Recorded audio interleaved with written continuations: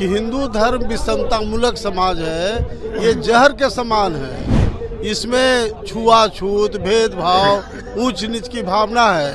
ये जिम्मेवारी जो हिंदू धर्म के लोग हैं, उनको हटाया जाए और पूरा का पूरा बौद्धिस्ट को दिया जाए। ये आम ये अधिकार है हमारा। ये आज बोध गया। सिर्फ़ बुद्धिस्टों का नहीं ये बिहार के हर जनता का आन बान शान है, जिसकी बिहार से बाहर नागमणि जैसे और यूथ को लेकर के और सर्वर गुलाम सर्वर जैसे लोगों को लेकर के हम इसको बदलेंगे। यहाँ राजनीतिक नहीं, बल्कि काम की पूजा होगी। नमस्कार, मैं प्रिंस कुशवाहा, फ़र्स्ट बिहार, झारखंड देख रहे हैं। बौद्ध धर्म के सभी लोग आज गांधी मैदान में इकट्ठा हुए हैं। गांधी मैदान में जो बौद्ध धर्म के लोग इकट्ठे हुए हैं, उनका उद्देश्य है, जो गया में बौद्ध मंदिर है या बिहार में तमाम जो बौद्ध की जगह है, वहाँ पे जो अन्य जाति के लोग का कब्जा है तथा कथित ब्राह्मण समाज के जो लोग हैं, उनसे मुक्त कराने के लिए सम्मेलन बुलाया गया है। आप देख सकते हैं कि मंच पे यहाँ पे बड़े बड़े लोग विराजमान हैं। पूर्व मंत्री में यहाँ पे देख सकते हैं नागमणि कुशवाहा हैं। यहाँ पे भीम आर्मी के पार्टी आज़ाद समाज पार्टी के प्रदेश अध्यक्ष हैं। आरजेडी के जो उदय नारायण चौधरी हैं, जो पूर्व, जो बिहार बिहार विधानसभा के स्पीकर रहे हैं और तमाम लोग हैं जो यहाँ पे इकट्ठा हुए हैं। बारी बारी से बात करेंगे उनसे कि आखिर क्या कुछ मसला है इकट्ठा हुए हैं? सभी लोग से बात करेंगे। आज आप लोग गांधी मैदान में इकट्ठा हुए हैं। क्या कुछ देखिए, उन्नीस सौ उनचास में संविधान बनने के पहले अंतरिम सरकार ने काला कानून बोध गया, जो बौद्ध बिहार है, उसमें किया है कि जब बौद्धिस्टों का वह जगह है, फिर चार हिंदू और चार बौद्धिस्ट को देने का क्या उचित है? इसलिए पूरा का पूरा ये जिम्मेवारी जो हिंदू धर्म के लोग हैं, उनको हटाया जाए और पूरा का पूरा बौद्धिस्ट को दिया जाए। ये आम लोग का डिमांड है। मैं ये कहना चाहता हूँ कि हिंदू धर्म विषमता मूलक समाज है, ये जहर के समान है।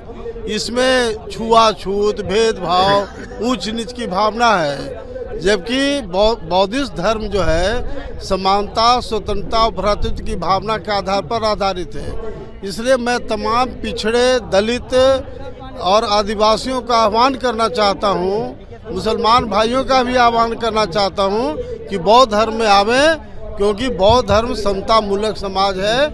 इसमें सभी जाति, संप्रदाय के लोग का कल्याण होने वाला है।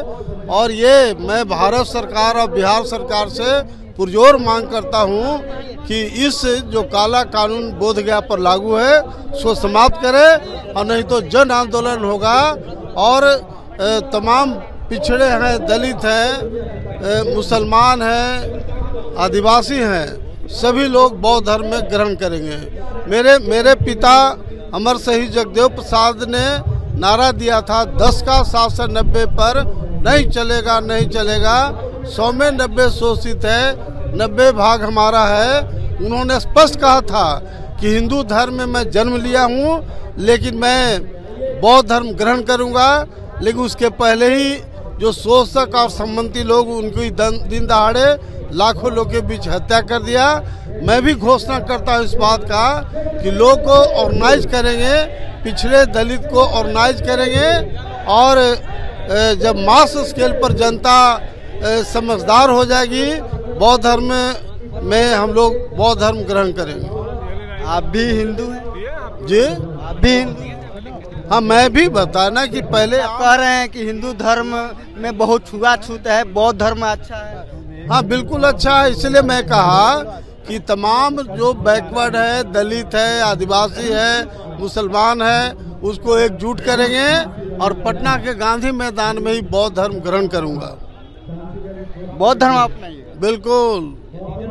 जल्दी। हम हैं? हैं? जल्दी। जल्दी नहीं। पहले तमाम जो बैकवर्ड है दलित है मुसलमान है आदिवासी है मुसलमान है आदिवासी है ऊँची जात के जो गरीब लोग हैं वो तमाम लोग को बौद्ध धर्म ग्रहण करने के लिए मुखातिब करूँगा और सब लोग तैयार हो जाएँगे तो लाखों लाख लोग के सामने बौद्ध धर्म ग्रहण करूँगा। मुख्यमंत्री को ज्ञापन भी सौंपिएगा इसे। लेके आप लोग? हाँ बिल्कुल। गवर्नर को भी देंगे और माननीय मुख्यमंत्री के यहाँ भी डेलीगेशन जाएगा। देखिए तमाम यहाँ पे बौद्ध धर्म को लेकर लगातार यहाँ पे जो इकट्ठे हुए हैं उन लोगों से भी बात करेंगे। आप लोग आज गांधी मैदान में उपस्थित हैं। मंदिर जो बौद्ध मंदिर है उसमें जो कब्जा है उसको छुड़ाने के लिए क्या कुछ ये मांग नहीं है। ये हक है हमारा। ये अधिकार है हमारा। ये आज बोध गया।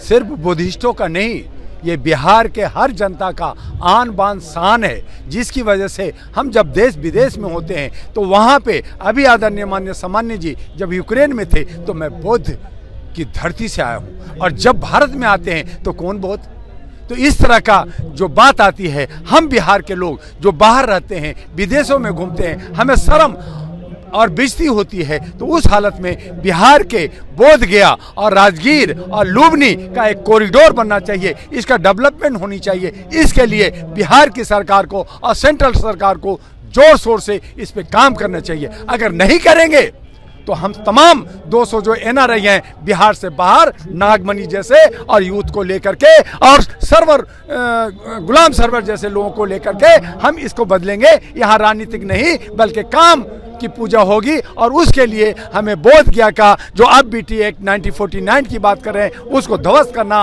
और साथ में वहाँ पे जो है विकास की बात करना जिससे हमारे बिहार का तो कौन सा तुम्हारे तो कह रहे हैं कि गया- हमारे बेरोजगारों हमारे बेरोजगारों को रोज़गार मिल रहा है? क्या हमारा हमारे बिहार में आईटी हब है?